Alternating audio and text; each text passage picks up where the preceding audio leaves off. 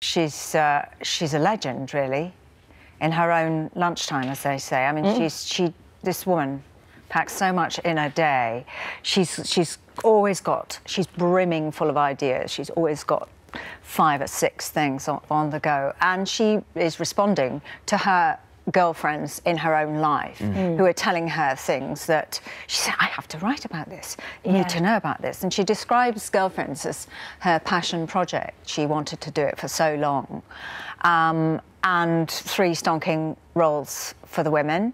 Actually, not bad roles for the guys, honestly. Mm -hmm. Really, really not bad at all. And they were very happy to, to play second fiddle, they, they said. Yeah. Um, so uh, yeah, it was a um, quality project and all set up in in Leeds yeah. and York. Was she there? Did she come down oh, when you? Uh, when Kay, you actually, uh, yeah, directed the first block, which right. was the first oh, three. Oh, okay. Yeah, she wanted to Absolutely set that up. You know, she's been wanting to do this for so long. And so. what I what I really love about the story is that it's kind of following female friendships you see that obviously they met when they were younger, but mm. that, life kind of went off in separate ways when they mm. had children or whatever, or mm. careers or whatever it was, and maybe they didn't spend as much time together. Yeah.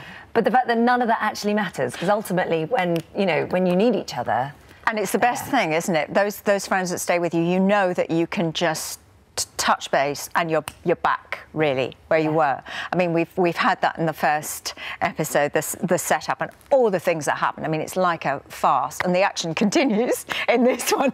I mean, Sue has a birthday that she doesn't want to happen. No numbers are mentioned, but it's it's just like in her head, it's a bad one, right? You know.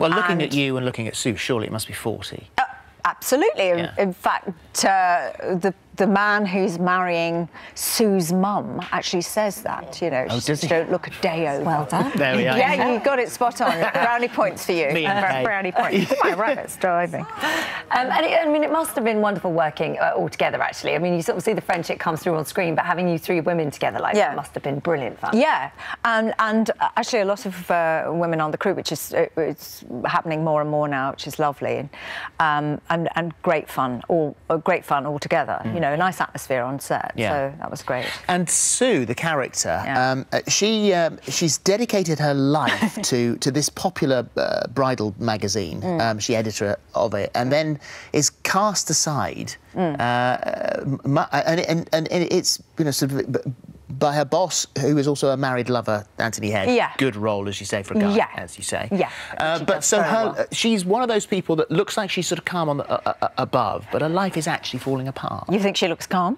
I think she, well, there are part times when she looked reasonably calm. Yes, that's right. Well, because she has always considered herself, and people have told her that she's great at her, her job, and and there's a sort of abrupt dismissal, and she she loses so many things in the first episode. It's it's like thank you God, it's somebody got it in for me. What's going on? Mm. Um, but uh, there's lots more. Mm. There's lots more to we've come. read uh, we've read some of the synopsis for future. Uh, yeah, yeah. It is extraordinary. It's a great story. But she is dismissed on the on the grounds that she's uh, a bit long in the tooth to be doing this job. And she says, Not quite rightly, I'm sorry, if I'm good at my job, what's wrong with uh, carrying on? Mm. Um, something else that is completely different to all of this is uh, the, the movie Stronger. Um, oh, yeah.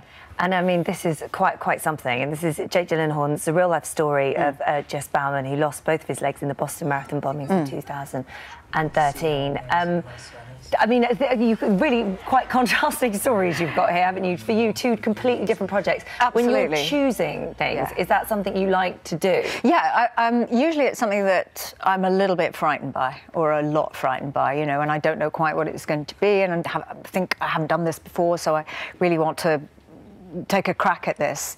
And so it's Boston Irish, it's, um, you know... Well, the, the accent is Dysfunctional family, fabulous voice coach, fabulous Tim Monich, bless him, bless him.